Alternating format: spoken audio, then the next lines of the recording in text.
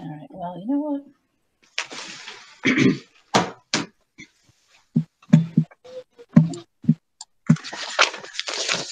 All right, actors, let's let's do this thing.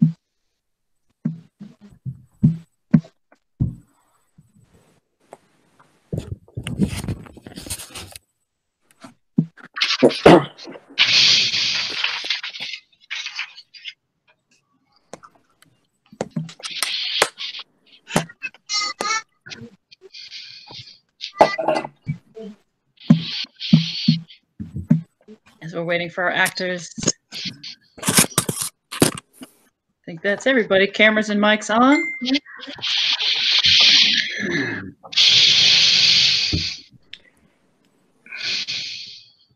Okay. Um, hi, my name is Beth Danesco, and on behalf of the All Stories Theater Company, I want to thank our audience today for joining us and welcome you to this presentation of The Tempest. Before we begin, we would like to introduce our actors, and they will tell you who they're playing in this rather um, large casted play. So first, Mr. Alan White. Hi, uh, I'm playing Prospero. Um, just want to say to anyone who's listening, I hope you and your family are safe and healthy. Aliyah Harris. Hi, my name is Aliyah, and I will be playing Miranda. Janet Sozio. Hi, I'm Janet. I'm making my theater debut as the narrator. And hello to all that are watching from home. Great to have you. John Trent. Hello, I'll be playing Antonio, and I'm glad you're all joining us tonight. Thank you. Judith. Nelson Dilday. Hel- Hello, I'm playing Alonso. I'm glad to see you here with us tonight. Kpoti Tokou. Hello, I'm playing Trinculo. Trinculo, and uh, I'm happy to have you all here. Lorna Nogueira. Hi, I'm playing Ariel. Um, thank you for coming and peace to all. Michael Leggy. Leggy. I'm playing Stephano and Ceres, and I want to say hello to all my fan. Milton Coykendall. Uh, hi, I'm playing Francisco, uh, Adrian, and the boatswain, and thank you for coming. Reagan Comedy. Hello, I'm Reagan, and not to be outdone, I would also like to say um, hello to my fan. oh, and I'm playing Ferdinand. Reggie Joseph. Hello, my name is Reggie, and I would like to welcome those watching tonight on this wonderful Sunday. And I am Sebastian. And Craig Whitford. Hello, everyone. My name is Craig, and I would like to uh, thank my fan. Hi, Ethan. Now, if those of you are viewing at home and you have a grid extension on your uh, Google Meet, if you are watching on one of our um, emails, you can put on the grid function, um, and then you can see all of us at the same time. If not, don't worry. It's still going to be a great show, and we are about to begin. So I'd ask actors to take their places or leave their places, as the case may be. And again, if you were trying to get into this meeting, um, you're going to want to use our people are trying to get into our meeting, which we appreciate because we do enjoy company. However, um, it is not the meeting that you want, it is the live stream. So please try to find the live stream on our Facebook page, facebook.com slash all stories theater company, and follow the information there for your viewing enjoyment. So now um, our actors are ready, and it's time for us to begin The Tempest. Cue scene one.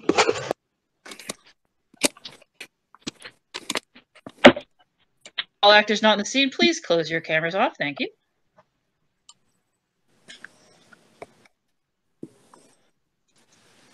And cue scene one. Behold, a mysterious deserted island in the middle of the Mediterranean Sea. A great storm, a tempest, if you will, has just torn through it. A mere act of nature? No, this storm was the handiwork of Prospero, a sorcerer stranded these many years in this place with his daughter, Miranda. As Miranda takes in the wreckage of the storm, she voices concerns about the consequences of her father's magic. This leads Prospero to finally reveal a secret, and our story begins. If by your art, my dearest father, you have put the wild waters in this roar, them. The sky, it seemed, would pour down stinking pitch, but that the sea, mounted to the welkin's cheek, dashed the fire out.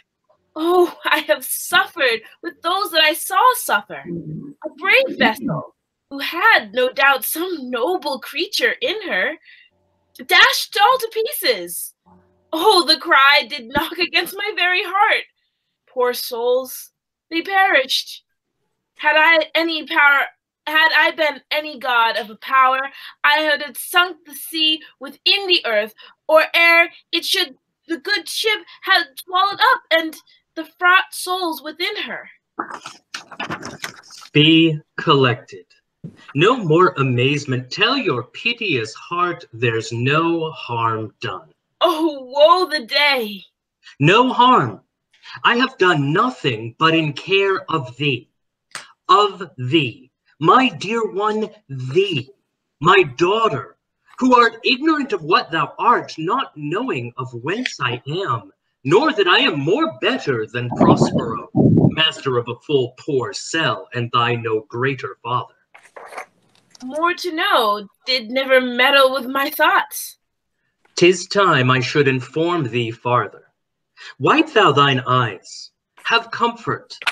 The direful spectacle of the wreck, which touched the very virtue of compassion in thee, I have with such provision in my art so safely ordered that there is no soul, no, not so much per dane as an hair, betid to any creature in the vessel which thou heardst cry, which thou sawst sink. Sit down, for thou must know farther. You have often begun to tell me what I am, but stopped and left me to a bootless inquisition, concluding, Stay, no, not yet. The hours now come. The very minute bids thee ope thine ear. Obey and be attentive. Twelve years since, Miranda, twelve years since, thy father was the Duke of Milan and a prince of power. Sir, are you not my father? Thy mother was a piece of virtue, and she said thou wast my daughter, and thy father was Duke of Milan, and thou his only heir and princess no worse issued. Oh, the heavens! My brother and thy uncle called Antonio. I pray thee, mark me that a brother should be so perfidious. He whom next thyself of all the world I loved, and to him put the manage of my state.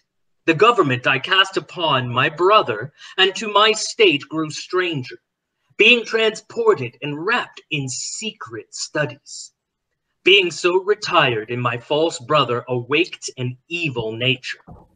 He being thus lorded, not only with what my revenue yielded, but what my power might else exact, like one who having into truth by telling of it made such a sinner of his memory to credit his own lie, he did believe he was indeed the duke. Out of the substitution and exacting the outward face of royalty with all prerogative, hence his ambition growing to have no screen between this part he played and him he played it for. He needs will be absolute Milan. Mark his condition and the event, then tell me if this might be a brother. I should sin to think but nobly of my grandmother. Good wombs have borne bad sons. Now the condition.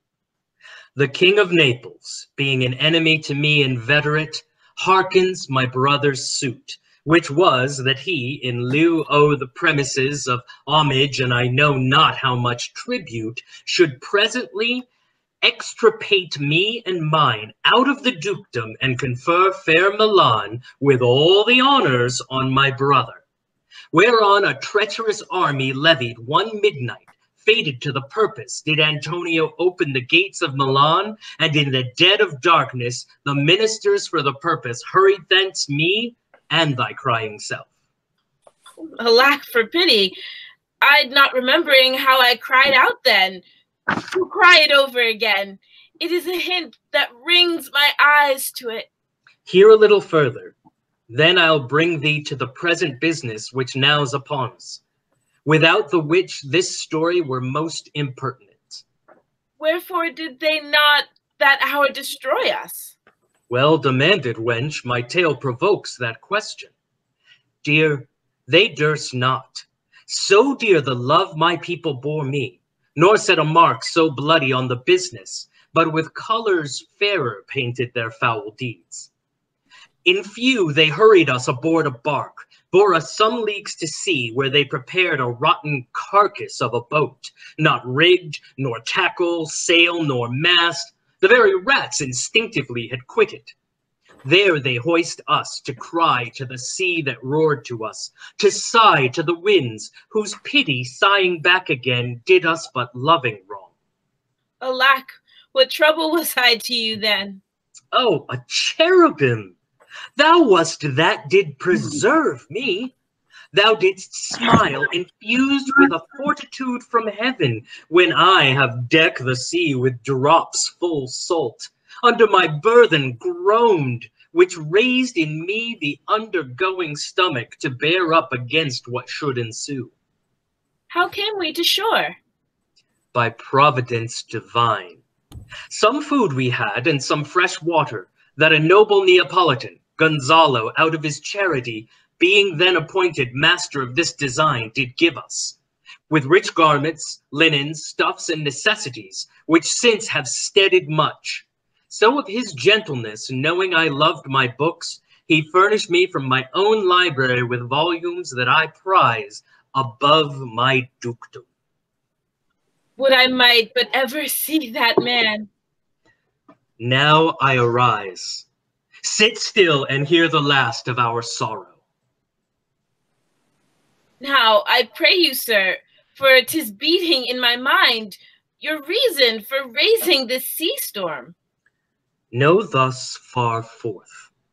By accident most strange, bountiful fortune, now, my dear lady, hath mine enemies brought to this shore.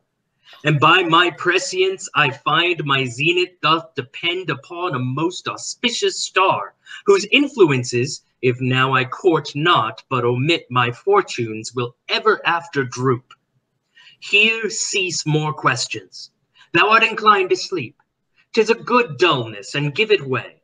I know thou canst not choose. Come away, servant, come. I'm ready now. Approach, my Ariel, come. All hail, great master. Grave sir, hail. I come to answer thy best pleasure, be it to fly, to swim, to dive into the fire, to ride on the curled clouds, to thy strong bidding task Ariel and all her quality. Hast thou, spirit, performed to point the tempest that I bade thee? To every article. I boarded the king's ship, now on the beak, now in the waist, in the deck, in every cabin I flamed amazement. Sometime I'll divide and burn in many places. On the topmast, the yards, the bowsprit, would I flame distinctly, then meet and join. Jove's lightnings, the precursors of the dreadful thunderclaps, more momentary and sight outrunning were not. And fire and cracks of sulphurous roaring of the most mighty Neptune seemed to besiege and make his bold waves tremble, yea, his dread trident shake. My brave spirit, who was so firm, so constant that his coil would not infect his reason? Oh, not a soul but felt a fever of the mad and played some tricks of desperation. All but mariners plunged in the foaming brine and quit the vessel, then all afire with me.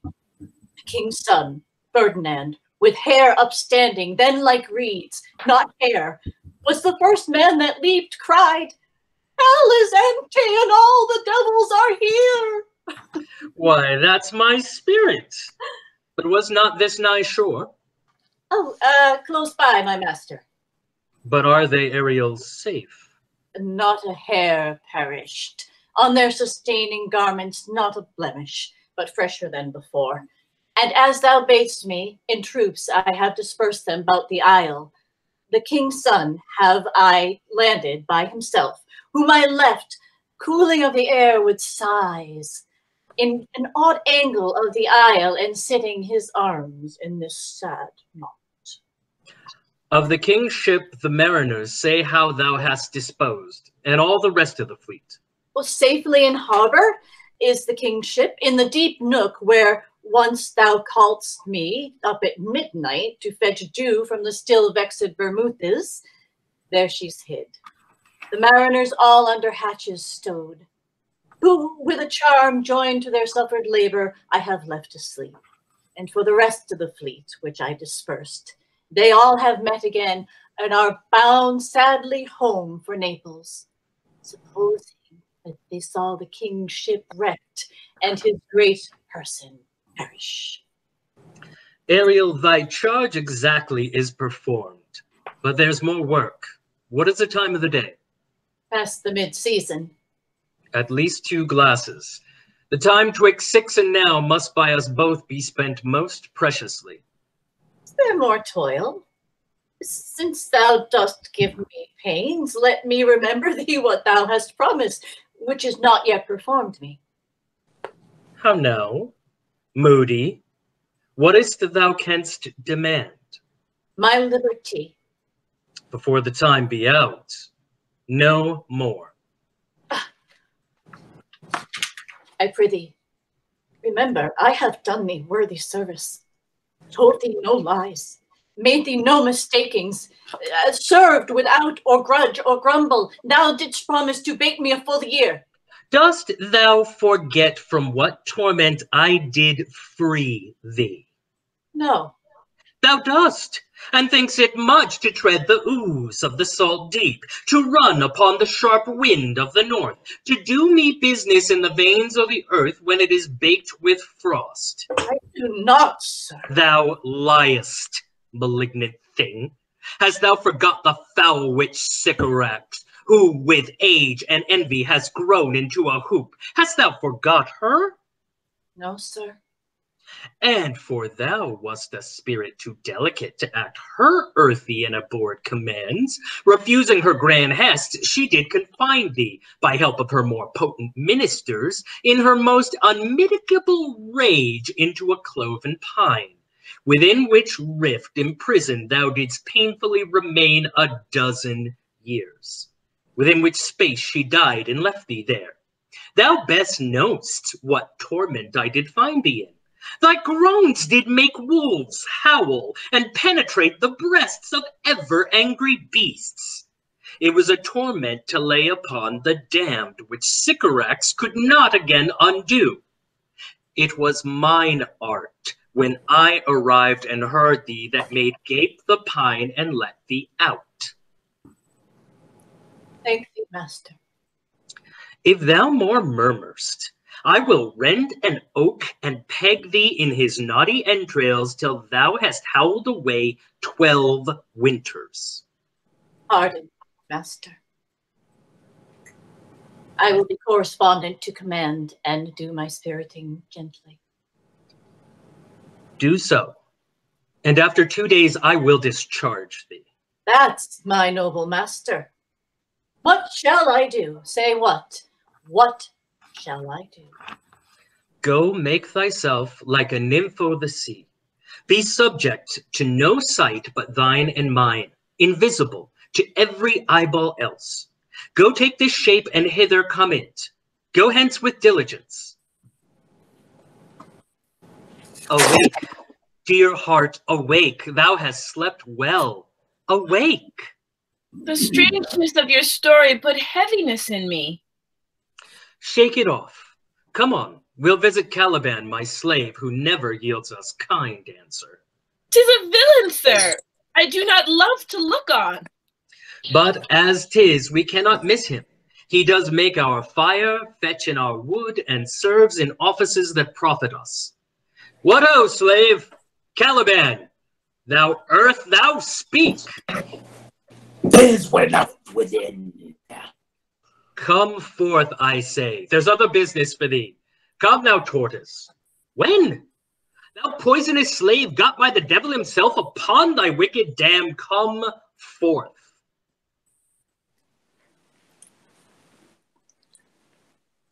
Winds feather from unwholesome fen, drop on ye both. A southwest blow on ye and blister you all over. For this, be sure tonight thou shalt have cramps, side stitches that shall pen thy breath up. Urchins shall, for the vast of the night, that they may work all exercise on thee. Thou shalt be pinched as thick as a honeycomb, each pinch more stinging than the bees that made 'em. I must eat my dinner. This island's mine by Sycorax, my mother, which thou takest from me. When thou camest first, thou strokest me, and made much of me. Wouldst give me water with berries in it, and teach me how to name the bigger light, and how the less that burn by day and night. And then I loved thee, and showed thee all the quality fresh berries. And I did so. The charms of Sycorax, toads, beetles, bats light on you. For I am all that which king, and hear you in this rock will you keep me from the rest of the island. Thou most lying slave, whom stripes may move, not kindness. I have used thee, filth as thou art, with human care, and lodge thee in mine own cell till thou didst seek to violate the honor of my child. oh, would it have been done? Thou didst prevent me. I had peopled else this isle with Calibans. Abhorred slave, which any print of goodness wilt not take, being capable of all ill. I pitied thee, took pains to make thee speak, taught thee each hour one thing or other, when thou didst not savage know thine own meaning. But wouldst gabble like a thing most brutish. I endowed thy purpose with words that made them known. But thy vile race, thou, though thou didst learn, had that edge which good natures could not abide to be with. Therefore wast thou deservedly confined into this rock, who hadst deserved more than a prison. You taught me language, and my profit on it is I know how to curse. A red plague rid you for learning me your language. Head seed hence. Fetch us in fuel and be quick. Thou art best to answer other business. Shrugg'st thou, malice? If thou neglect'st or dost unwilling me, what I command, I'll rack thee with hmm. old cramps, fill thy bones with aches, make thee roar that beasts shall tremble at thy din. No, pray thee. I must obey. Art is sun power. It would control my damn squad sickness. And I So, slave, hence. What is it? A spirit? Lord, how it come how it looks about. Believe me, sir, it came carries a brave form, but tis a spirit. No, wench, it eats and sleeps, and hath such senses as we have such. This gallant which thou seest was in the wreck, and but he's something stained with grief, that's beauty's canker. Thou mightst call him a goodly person. He hath lost his fellows and strays about to find them. I might call him a thing divine, for nothing natural I ever saw so noble. Most sure. The goddess on whom these airs attend. Vouchsafe my prayer, uh, uh, may know if you remain upon this island, and that you will have some good instruction give how I may bear me here. My prime request, which I do last pronounce, is, oh, you wonder, if you be maid or no. No wonder, sir, but certainly a maid. My language. Heavens, I, I, I am the best of them to speak the speech where I but where 'tis spoken. How? The best? What wert thou if the king of Naples heard thee? A single thing as I am now. The wonders to hear thee speak of Naples. He does hear me, and that he does I weep. Myself am Naples, who with mine who with mine eyes never since an ebb beheld the king my father wrecked. Oh, alack for mercy. Yes, faith in all his lords. The Duke of Milan and his brave son being twain. The Duke of Milan and his more braver daughter could control thee. If now 'twere fit to do it at the first sight, they have changed eyes. Delicate Ariel, I'll set thee free for this. A word, good sir. I fear you have done yourself some wrong. A word. Why speaks my father so ungently? This is the third man that ever I saw, the first that ever I, I sighed for. Pity, move my father to be inclined my way. Oh, if a virgin and your affection not gone forth, I'll make you the queen of Naples. Soft, sir, not one word more. They're both in either's powers, but with this swift business I must uneasy make, lest too light winning make the prize light.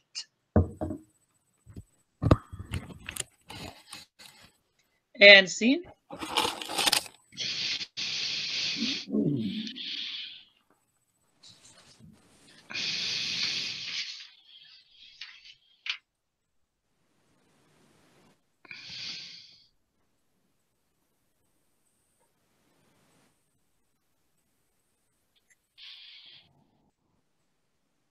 Antonio and Sebastian.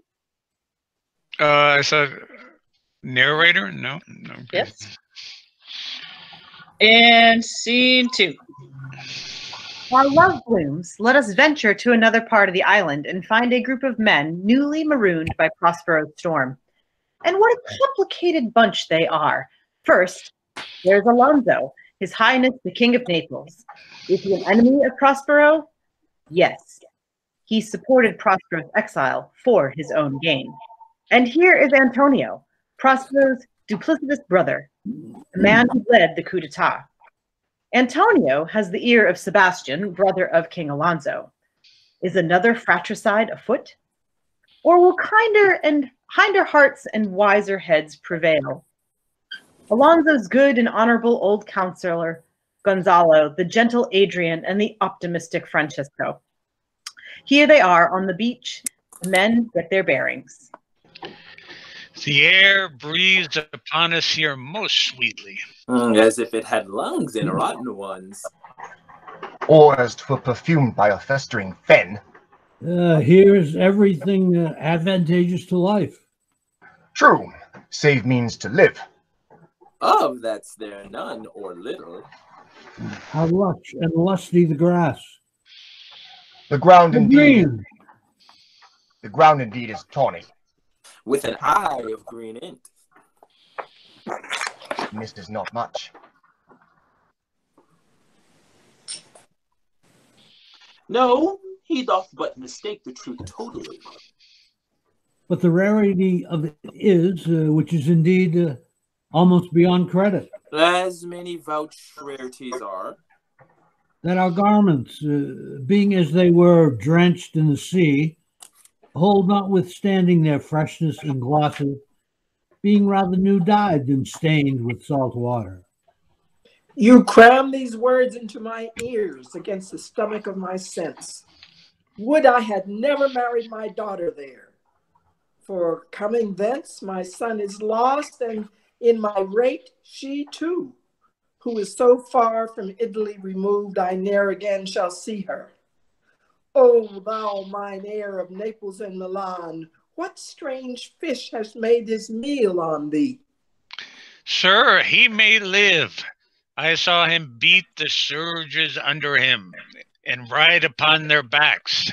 He trod the water whose enmity he flung aside and breasted the surge most swain that met him.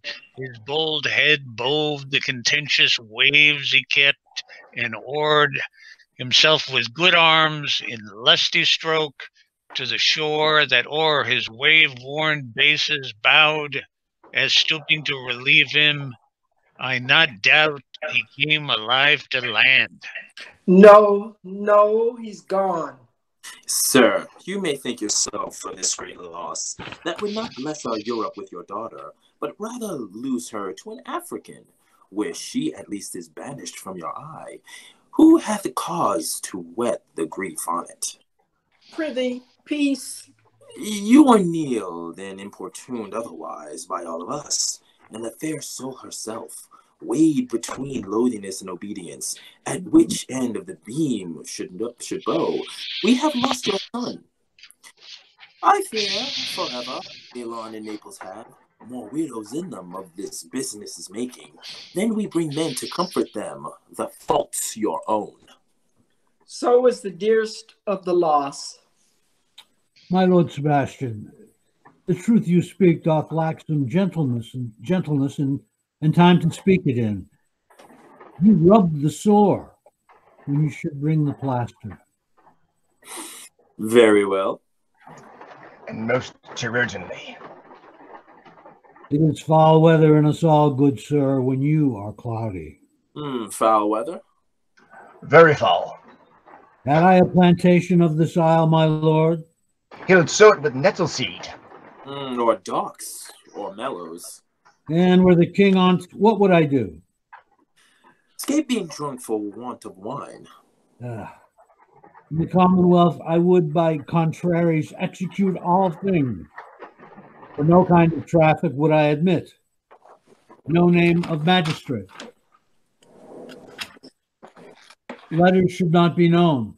Riches, poverty and use of service, none. Contract, succession, uh, born, bound of land, tilth, vineyard, none. For use of metal, corn, or wine, or oil, no occupation. All men idle, all. And women too, but innocent and pure. No sovereignty. Yet he would be king on it. Mm. The latter end of his commonwealth forgets the beginning. Uh, all things in common nature should produce without sweat or endeavor. Treason, felony, sword, pike, knife, gun, or need of any engine would I not have.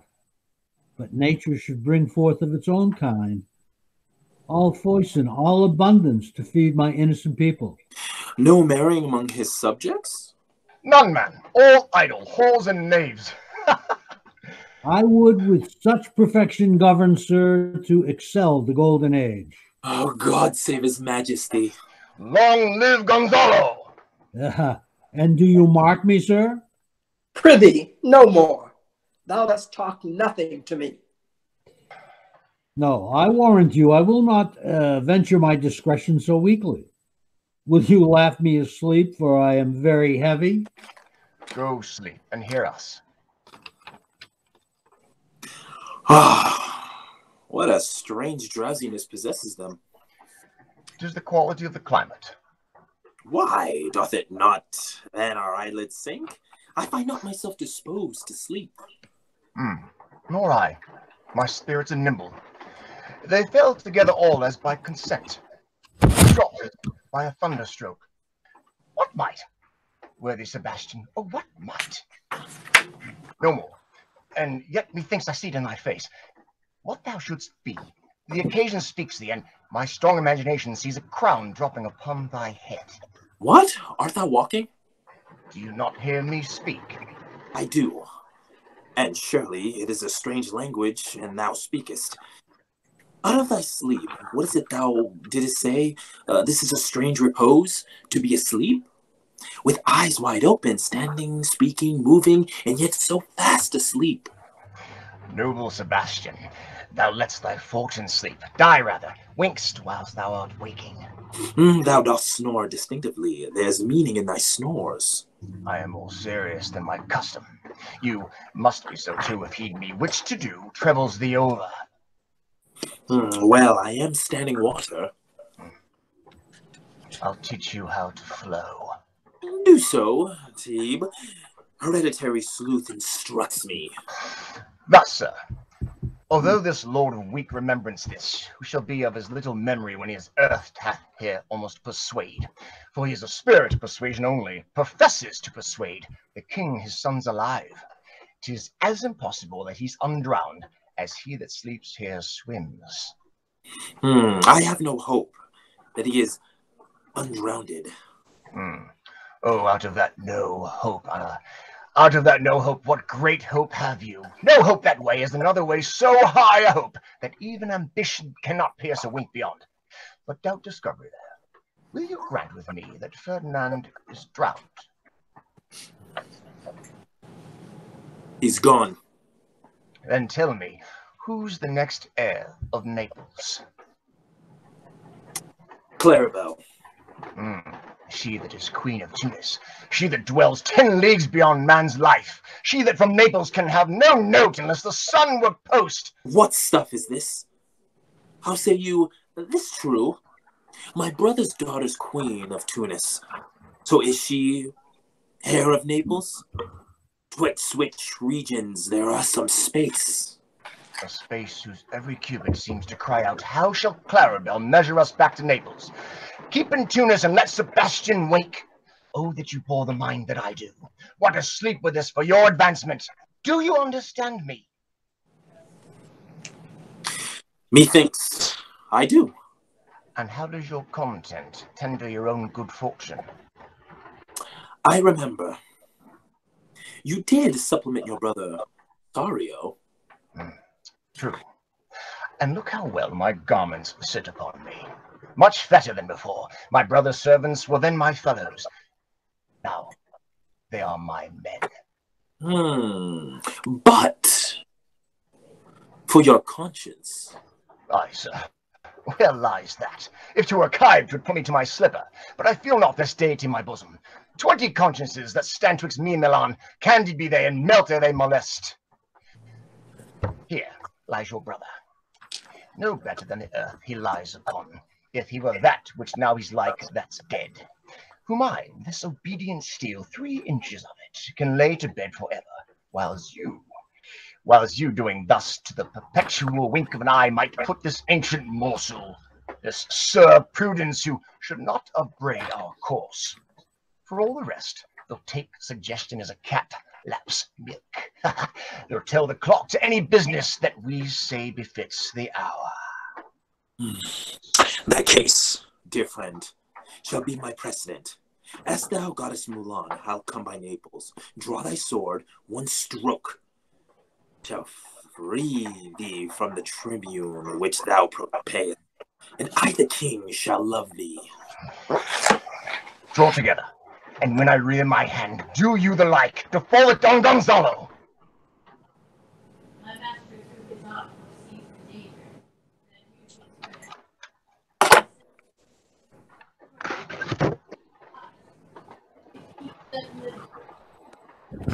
My master, through his art, foresees the danger that you, his friend, are, and sends me forth. For else his project dies to keep them living. Awake! Awake!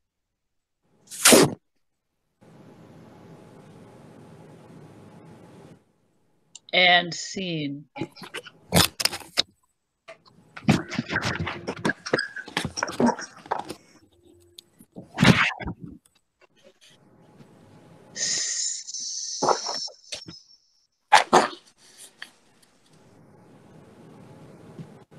Scene three. I wonder if Gonzalo will see Antonio's point. also, shipwrecked on this day, yes, there are more, we find the jester Trinculo and the butler Stephano, both of whom like a drink. The two men have encountered our devil witch offspring Caliban, who believes at least one of these two men is a god. For men of the servant class, this is quite a promotion. Together, what will these three lowly men get up to? How did thou escape? How camest thee hither? Swear by this bottle thou camest hither. I escaped on a, a sack which the sailors heaved overboard. By this bottle, which I made of the bark of a tree with my own hands, since I was cast ashore. I swear on that bottle to be thine, for thy contents is unearthly. Here, swear then, how thou escapest. Swim ashore, man. Like a duck. I can swim like a duck. I will swim. Here, kiss the book. Thou can swim like a duck, thou art made like a goose. Oh, Stephano, has any more of this?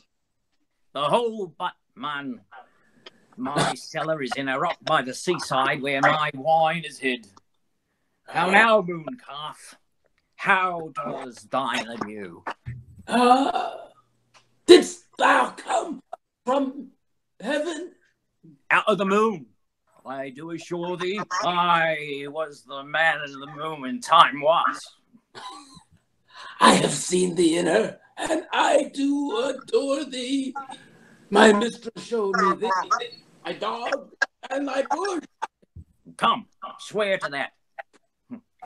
Kiss the book. I will furnish it anon with new contents. Swear.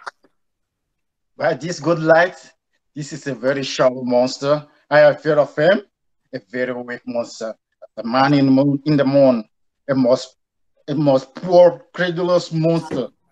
Well-drawn monster a- in good suit.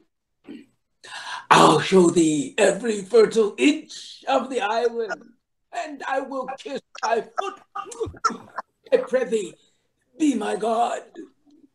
By this light, a most perfidious and drunken monster. When God's asleep, he will rub his bottle. I'll kiss thy foot. I'll swear myself thy second. Come on then, down and swear. I shall laugh myself to death with this puppy-headed monster, the most curvy monster I could find in my heart to beat him. Come, kiss.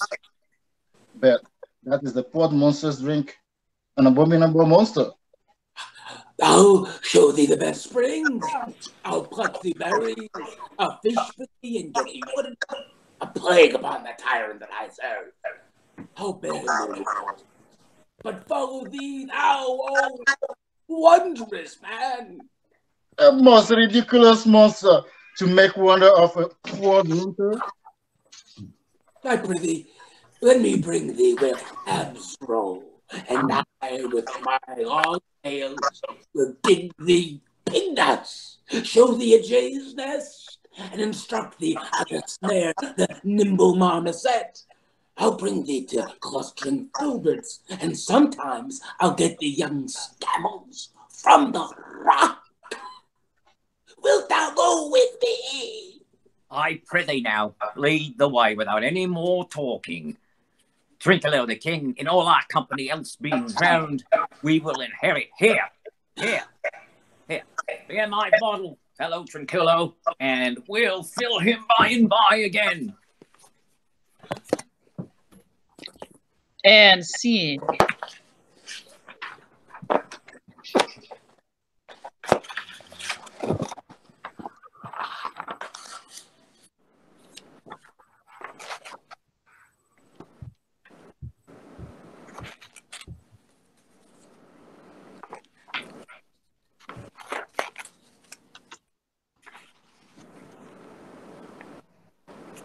Scene four.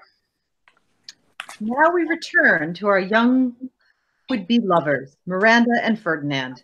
Prospero secretly approves of the map, but is making Ferdinand prove himself by doing manual labor. Alas, now, pray you, work not so hard. I would the lightning had burnt up those logs that you enjoined to pile. Pray, down and set you, when this burns to weep for having wearied you. My father is hard at setting. Pray now, rest yourself. He's safe for these three hours. Oh, most dear mistress, the sun will set before I shall discharge what I must strive to do. If you sit down, I'll bear your logs the while. Pray, give me that. I'll carry the pile. I'll carry No, the pile. precious creature, I'd rather crack my sinews, break my back, than you should such dishonor undergo while I sit lazy by. It would become me, as well as it does you, and I should do it. For with much more ease, for my goodwill is to it, and yours is against it. You look wearily. No, noble mistress, 'tis fresh morning with me when you are by at night. I do beseech you, chiefly that I might set it in my prayers. What is your name? Miranda. Oh, my father. I have broken your hest to say so. Admired Miranda. Indeed, the top of admiration worth what's dearest to the world. Full many a lady I have eyed with best regard, and many a time the harmony of their tongues hath into bondage brought my too diligent ear. My several virtues hath, hath I liked several women, never any with so fun a soul, but some defect in her did quarrel with the noblest grace she owed and put it into foil. But you, oh, you, so perfect and so peerless, are created of every nature's best. I do not know one of my sex, no woman's face remember, save from my glass, my own. Nor have I seen more than I may call men than you, good friend, and my dear father. How features are broad. I'm skillless of, but by my modesty, the jewel is my dower. I would not wish any companion in the world but you, nor can im- can imagination form a shape beside yourself to like of. But I prattled some things too wildly, and my father precept my father's precepts I therein do forget. I am in my condition a prince, Miranda. I do think a king. I would not so I, I would no more endure this wooden slavery than to suffer the flesh fly blow my mouth. Hear my soul speak. The very instant that I saw you, did my heart fly to your service. And there resides to make me slave to it. And for your sake am I this patient log man. You love me? Oh heaven, oh earth, bear witness to this sound. And crown what I profess with kind event if I speak true. If Howley invert what's best as bodest me to mischief. I beyond all limit of what else in the world do prize, love, honor you. I'm a fool to weep at what I'm glad of.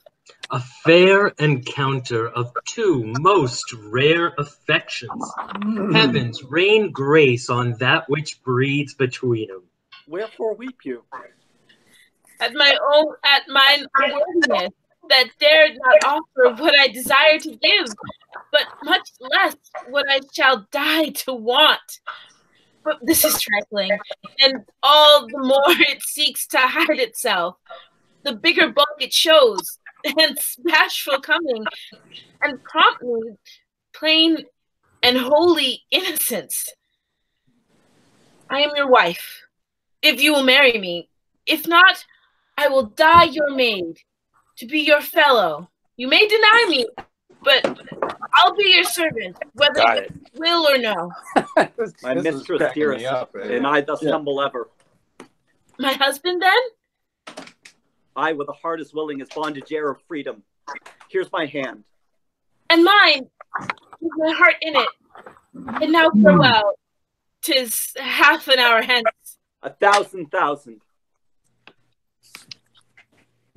And scene.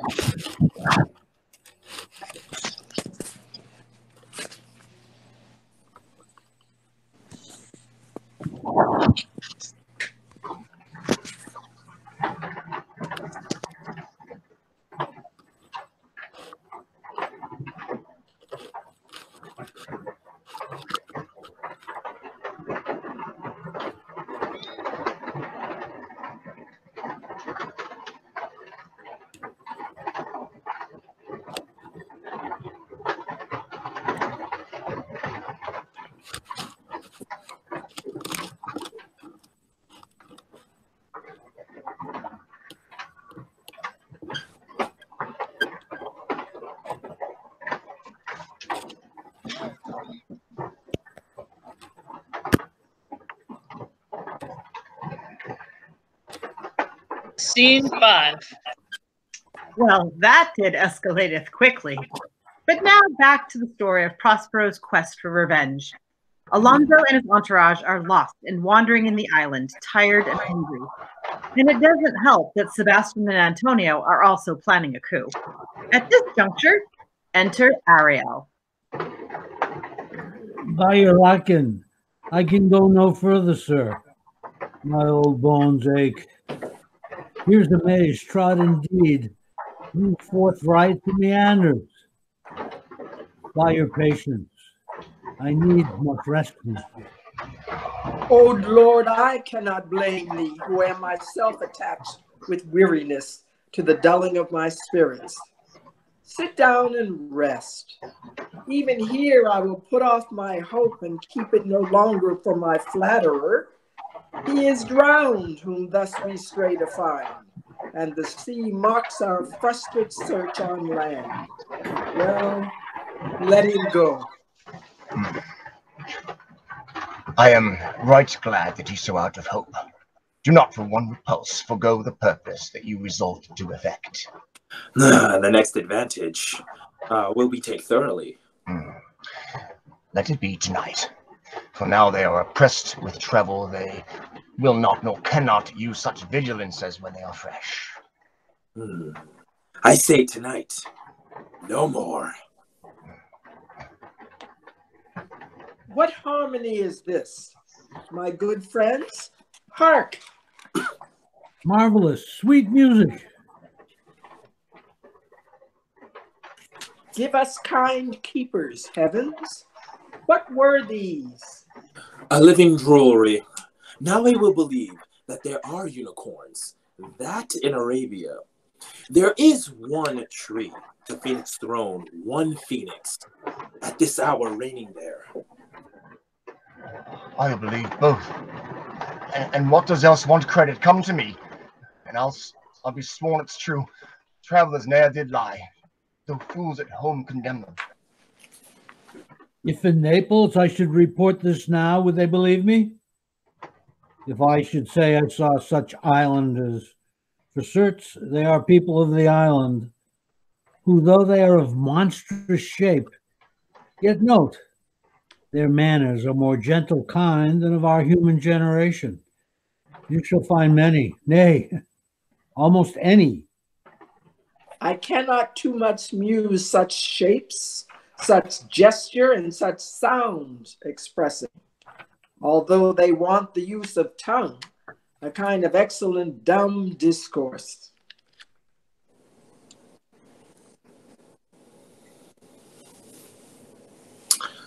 No matter, since they have left their valens behind, for we have stomachs. Hmm. Will it please you taste of what is here? Not I. Faith, sir, you need not fear. When we were boys, who would believe that there were mountaineers dewlapped like bulls, whose throats had hanging at 'em wallets of flesh?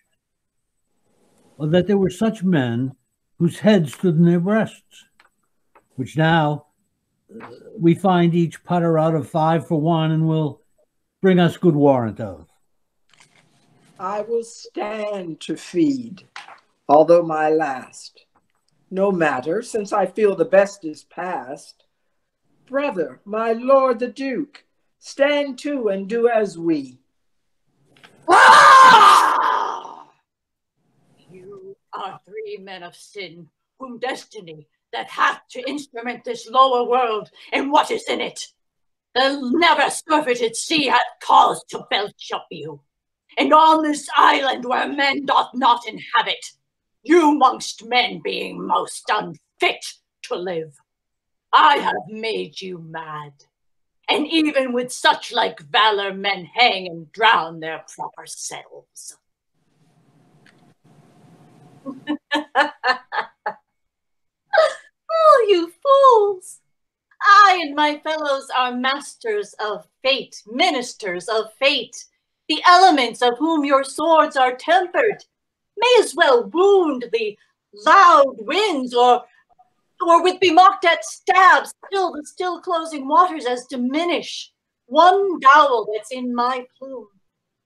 My fellow ministers are like invulnerable.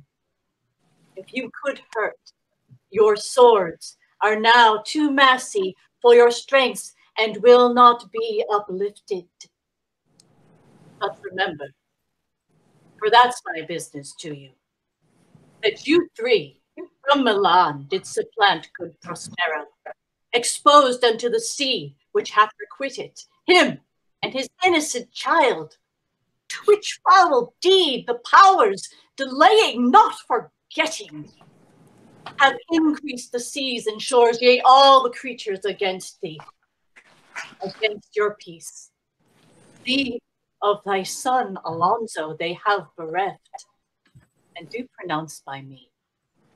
Lingering perdition, worse than any death can be at once, shall step by step attend you and your ways, whose wrath to guard you from.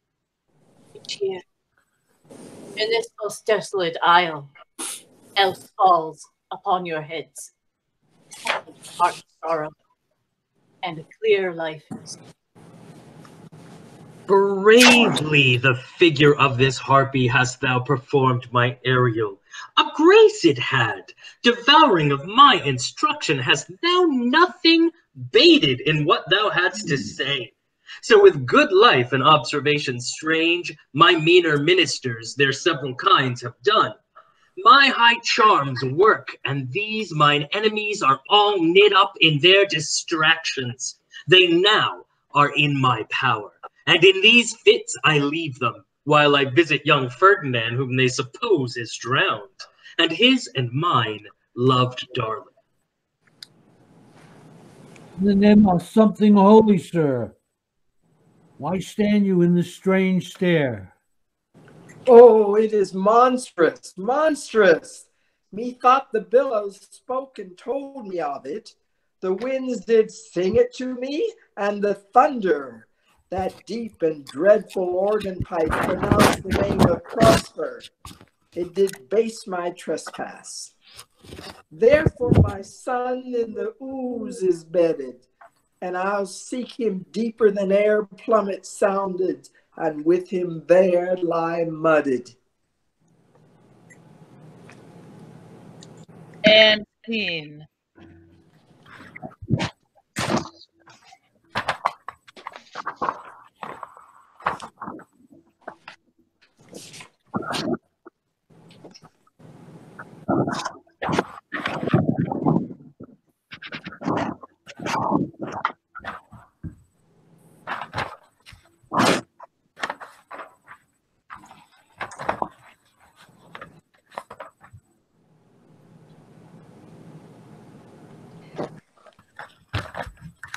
Scene six, or whichever we're on. We're back at the Love Fest. Ferdinand and Miranda have become engaged, and Prospero has conjured up, with Ariel's help, spirits of several Roman goddesses, including Juno and Ceres. This is a most majestic vision, and harmoniously charmingly. May I be bold to think these spirits? Spirits which by mine art I have from their confines called to enact my present fancies. Does my bounteous sister? Go with me to bless them, that they may prosperous be, and honored in their issue.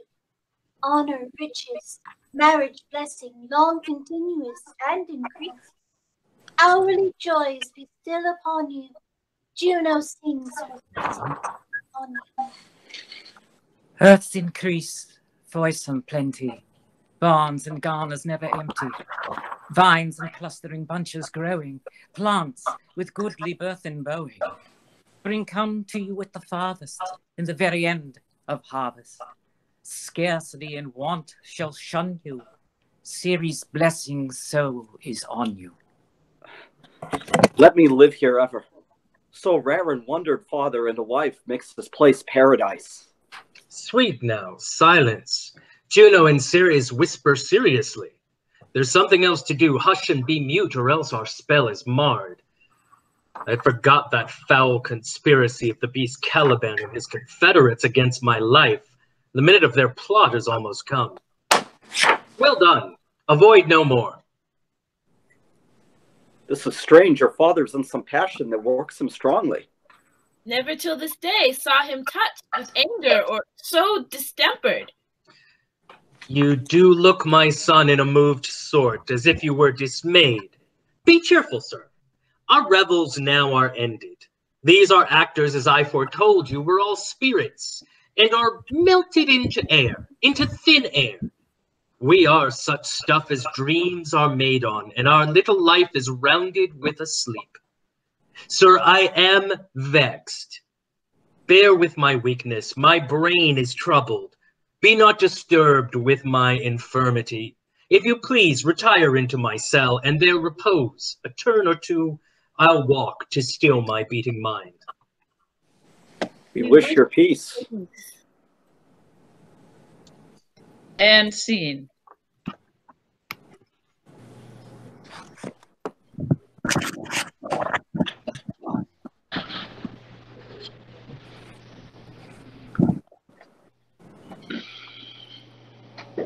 Scene seven.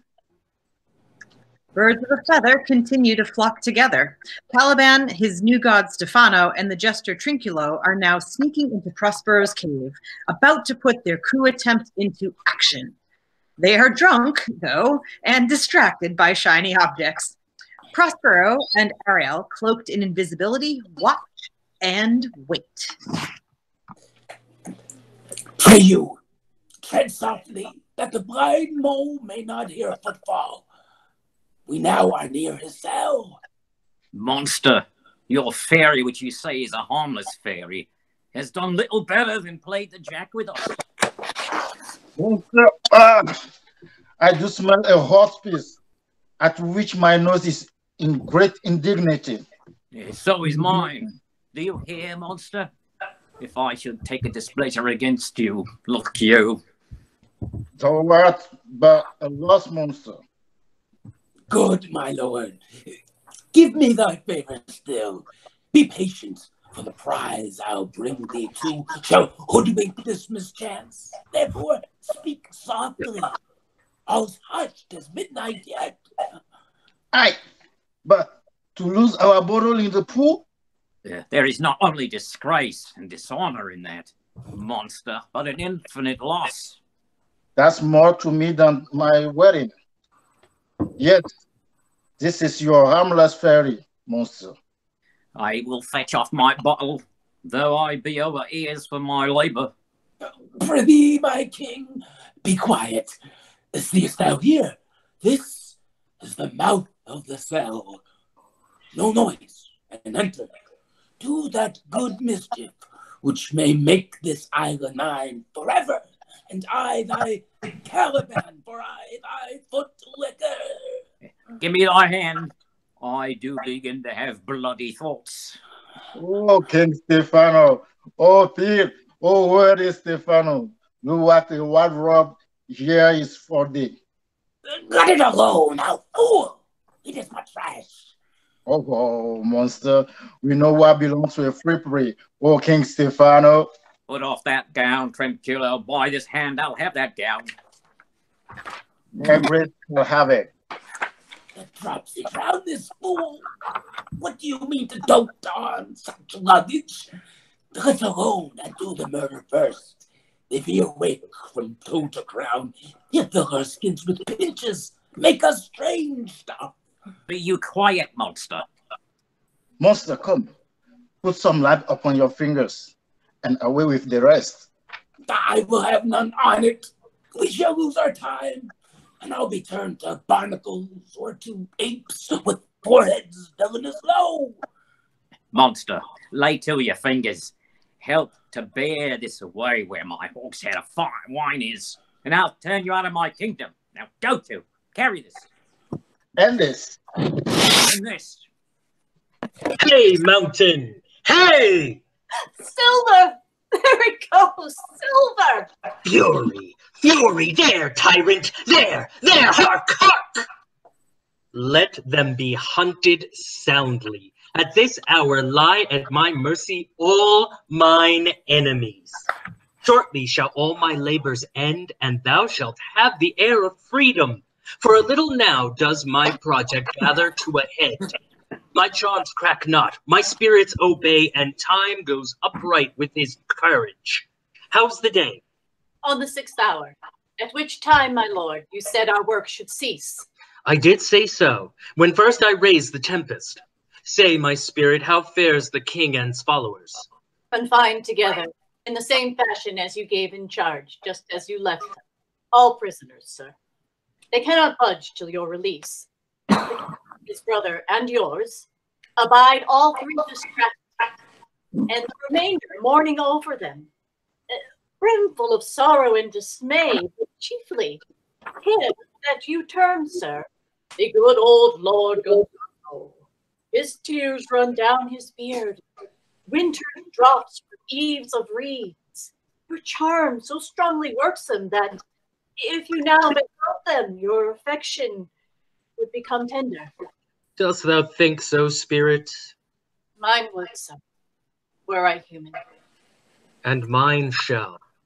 Hast thou, which art but air, a touch, a feeling of their afflictions, and shall not myself, one of their kind, that relish all as sharply passion as they, be kindlier moved than thou art?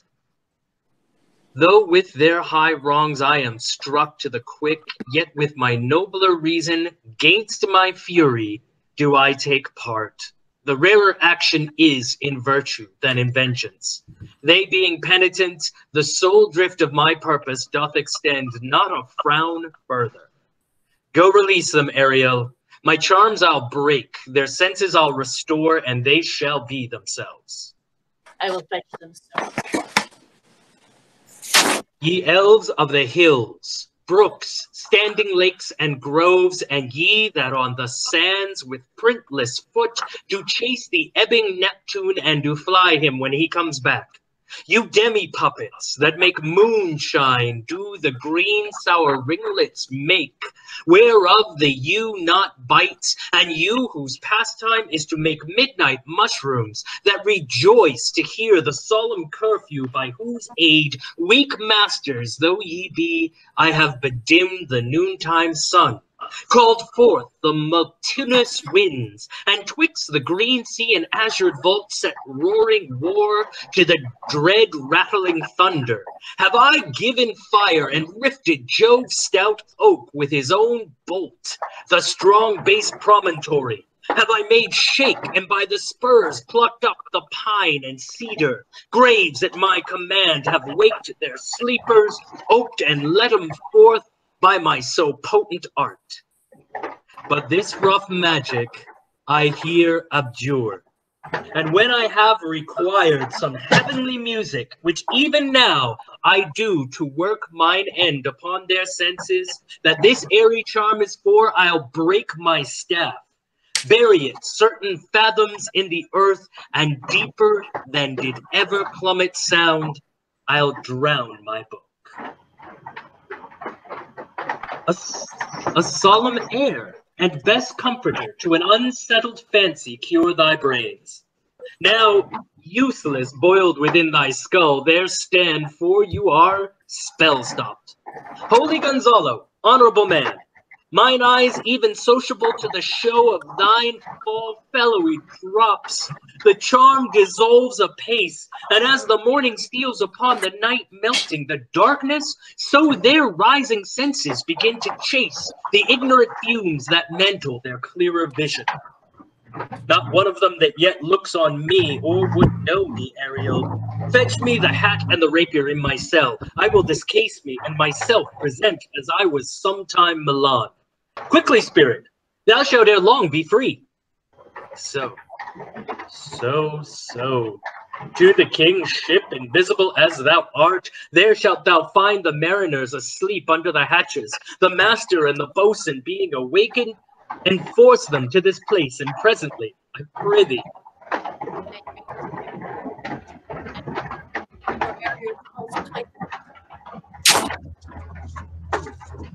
Behold, Sir King, the wronged Duke of Milan, Prospero. For more assurance that a living prince does now speak to thee, I embrace thy body, and to thee and thy company I bid a hearty welcome. Whether thou beest he or no, or some enchanted trifle to abuse me, as late I have been, I not know. Thy pulse beats as of flesh and blood, and since I saw thee, the affliction of my mind amends, with which I fear a madness held me. This must crave, and if this be at all a most strange story, thy dukedom I resign, and do entreat thou pardon me my wrongs. But how should hmm. Prospero be living and be here? First, noble friend, let me embrace thine age, whose honor cannot be measured or confined. Whether this be or be not, I'll not swear. You do yet taste some subtleties of the isle that will not let you believe things certain. Welcome, my friends all. But you, my brave lords, were I so minded, I here could pluck his highness frown upon you and justify you traitors. At this time I will tell no tales. Ah, the devil speaks to him. No, for you, most wicked sir, whom to call brother would even infect my mouth, I do forgive thy rankest fault, all of them, and require my dukedom of thee, which perforce I know thou must restore. If thou beest Prospero, give us particulars of thy preservation, how thou hast met us here, who three hours since were wrecked upon this shore, where I have lost. How sharp the point of this remembrance is, my dear son Ferdinand. I am woe for sir.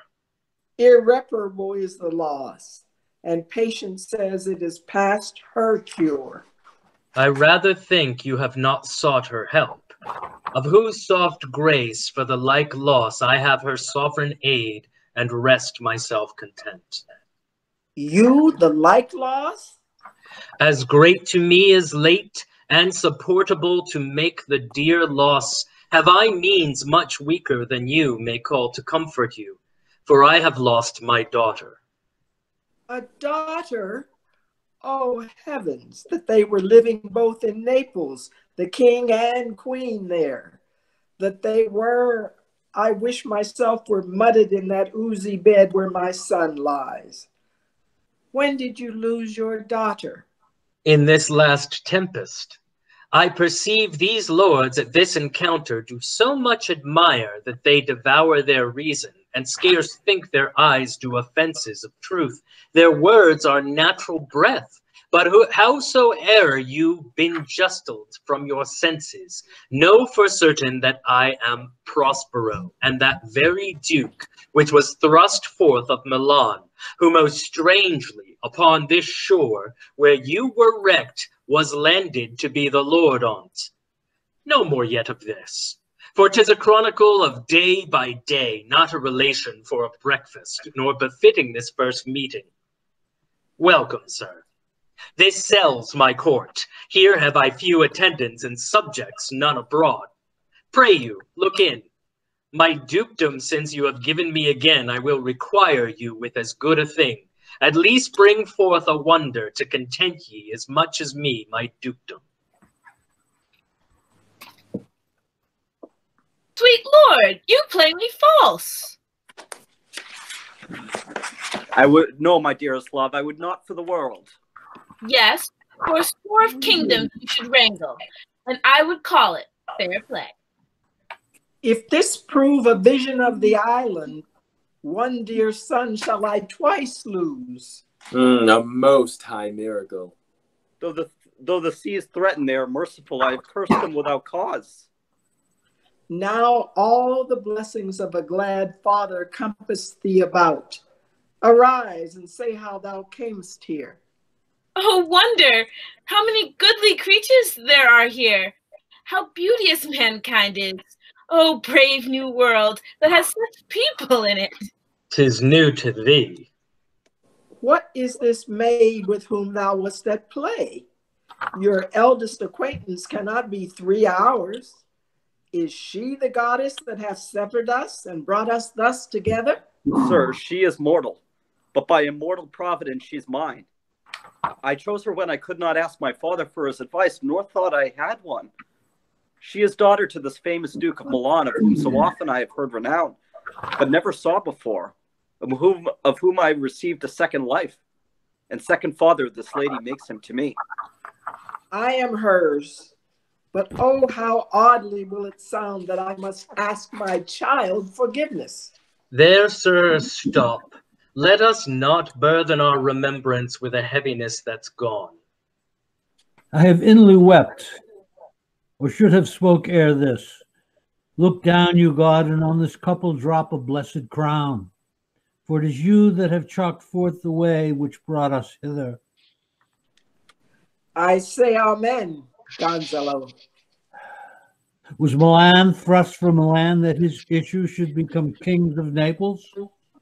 Or rejoice beyond a common joy and set it down with gold on lasting pillars? In one voyage did Claribel her husband find at Tunis, and Ferdinand her brother found a wife where he himself was lost. Prospero his dukedom in a poor isle, and all of us ourselves, when no man was his own. Give me your hands. Let grief and sorrow still embrace his heart that doth not wish you joy. Be it so. Amen. Oh, look, sir, look, uh, sir, here's more of us. I prophesied if a gallows were on land, this fellow could not drown. Now, blasphemy that switch grace overboard, not an oath on shore? Hast thou no mouth by land? What is the news? The best news is that we have safely found our king and company. The next, our ship, which but three glasses since we gave out split, is tight in the air and bravely rigged as when we first put out to sea. Sir, all this service have I done since I went. My tricksy spirit. Was well done. Bravely, my diligence. Thou shalt be free. This is as strange a maze as e'er man trod, and there is in this business more than nature was ever conduct of. Some oracle must rectify our knowledge. Sir, my liege, do not invest your mind with beating on the strangeness of this business. At picked leisure, which shall be shortly single, I'll resolve you, which to you shall seem probable. Of every these happened accidents, till when be cheerful and think of each thing well. Every man shift for all the rest, and let no man take care for himself. All is but fortune. Coraggio, Bobby monster, coraggio.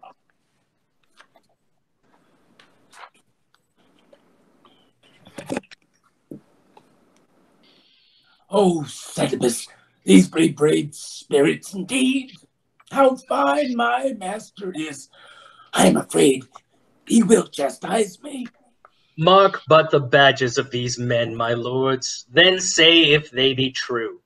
This misshapen knave, his mother was a witch, and one so strong that could control the moon, make flows and ebbs, and deal in her command without her power. These three have robbed me, and this demi-devil, for he's a bastard one, had plotted with them to take my life. Two of these fellows you must know and own. This thing of darkness, I acknowledge mine. I shall be pinched to death. This is a strange thing as e'er I looked on.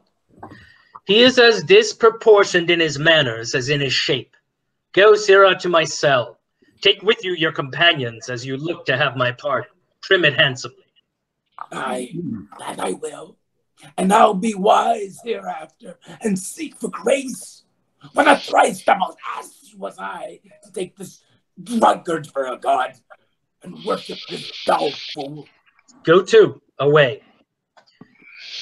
Sir, I invite your highness and your train to my poor cell, where you shall take your rest for this one night, which part of it I'll waste with such discourse as I not doubt shall make it go quick away. The story of my life, and the particular accidents gone by since I came to this isle, and in the morn I'll bring you to your ship, and so to Naples, where I have hoped to see the nuptial of these our dear beloved solemnized and thence retire me to my Milan, where every third thought shall be my grave. I long to hear the story of your life, which must take the ear strangely.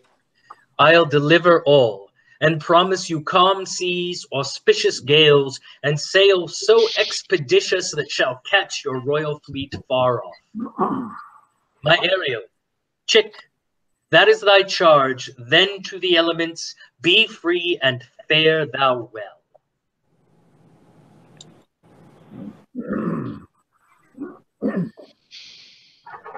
All actors appear.